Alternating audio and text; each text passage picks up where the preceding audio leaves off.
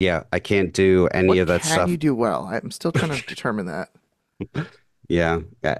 Ask my therapist. kind of- ask, my, ask my therapist, and uh, she'll be just as stumped. Uh, Uh, speaking of which, yeah. how is Home Depot doing these days? that's That was a that's a burn. Every time That's this, when I burn. was in my early 20s, I tried acupuncture, and for some pain, I got. I actually have to. I actually have to do that. I have to start doing that. and it was quite painful. And and I was like, everyone Really? saying It's shouldn't- painful? not- it wasn't painful. It's not supposed to be painful. It was hurting me quite a bit. There's a reason why it's painful. It had to do with it was hitting nerves that weren't in the right spot. But uh, Maybe it's because the needles had to dig through six inches of Doritos in order to get to the muscle. Like, is, is, is excuse me, I do not like Doritos. They are not a sponsor, and I don't eat them. So strike that statement from the record. No. So what happened? I was wait, going. six inches of whole food sausage? How about that? Is that better? Is that better? Okay, go ahead. Go ahead. Uh, ugh, let's leave that alone. Um, and I, I did about like six or seven sessions, and it was very painful.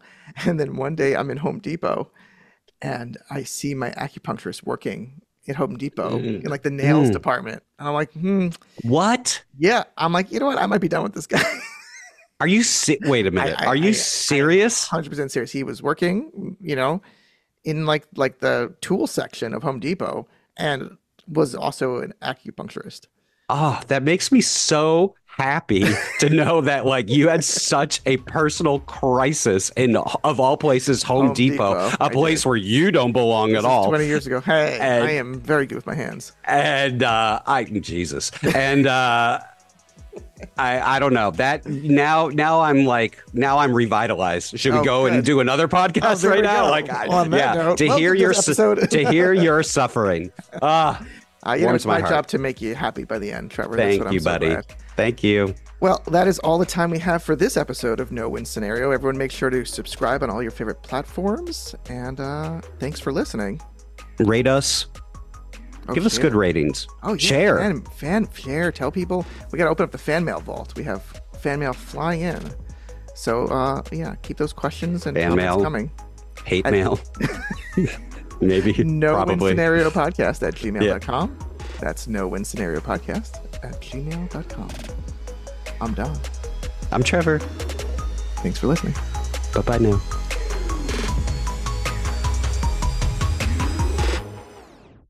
In today's world, mental health is everyone's concern. If you or someone you know is in crisis, please use these resources.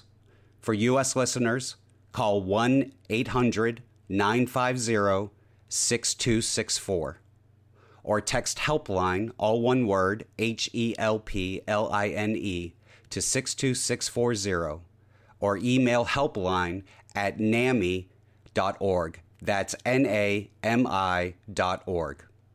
For our international listeners, please visit suicidestop.com. That's S U I C I D E S T O P dot com.